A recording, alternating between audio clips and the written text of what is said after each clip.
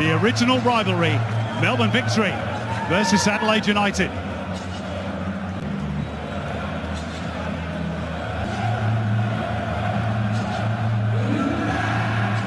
To their anthem, we'll remind you of the teams. Tony Popovic makes three changes for victory. Adama Traore is ruled out through kicking a run of six consecutive starts for Giuseppe Bovalina. Joe Gauci plays his final match as well.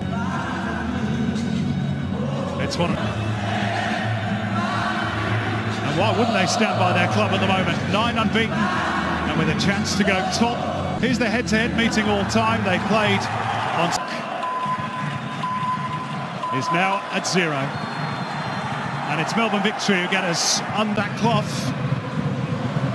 It's beyond. Is quickly, and it was a promising situation. Ibusuki took Jason Geria out of the equation just around the centre circle. Plenty of time for Zach Clough to come up with something. Miss Nishan Disguised pass for Jason Geria. And a very use of the body is one of his big strengths, of course, and he holds the ball up well. Here's Ryan T. Thought about shooting. Tees up for Velupillay. Victory threatening. Across the face it goes. It's pinball for a moment or two before Adelaide. And it goes to Ryan Teague on the left. That'll be Joe Gauci's good take. Right back under the pump. Arzani. And Fornaroli! A little farewell present as he heads off to the Asian Cup with the Socceroos from Bruno Fornaroli. A bullet header. Uh, I think it's going to, well, it's been adjudged offside. The AR will do the rule. It's an incredible header.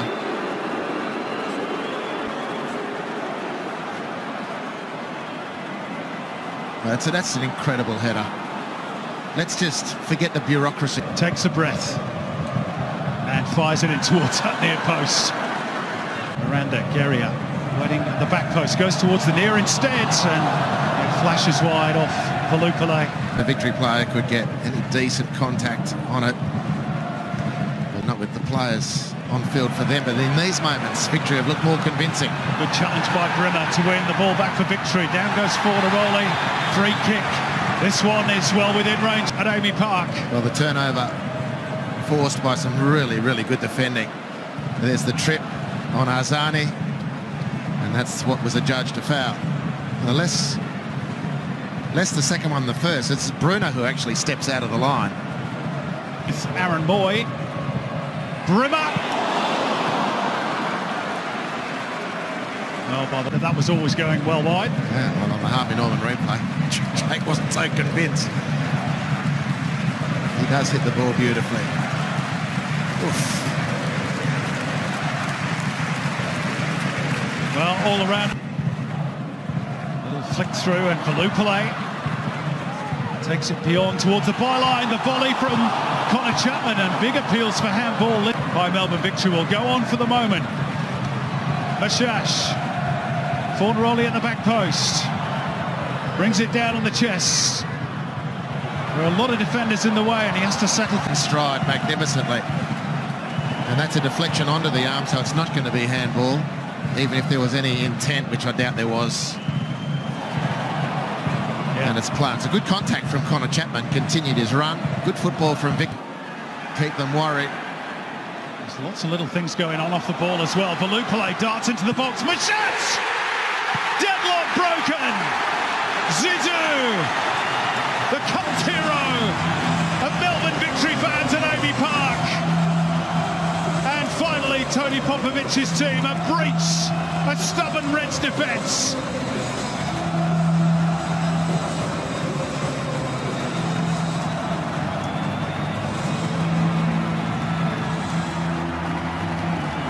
Well, the handball against Zach Clough was taken quickly, and then the Harvey Norman replay just tells a beautiful tale of the mazy run of Nishan Velupillay. His second half has been very impressive. Look at him go, cutting a swathe through the Adelaide defence, and then it's the magical Moroccan from the penalty spot or thereabouts, hooking it in with his left foot, giving Victory the lead. It's a stunning goal. Fantastic work, Victory. And now it's for Adelaide to find an answer. But Dink through the gap. It's clever by the Reds. And back post was Bovalina. Halloran, who was adjudged offside, not Giuseppe Bovalina, who arrived nicely to meet that. The back post. Central defensive pairing for Tony Popovic. Folami on the move.